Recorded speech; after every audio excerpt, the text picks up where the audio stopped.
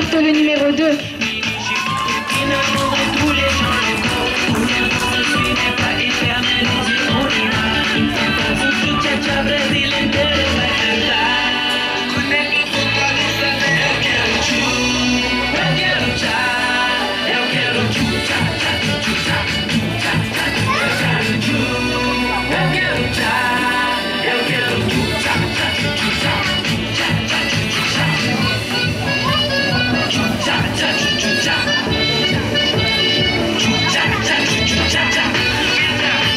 vida pro dia, me.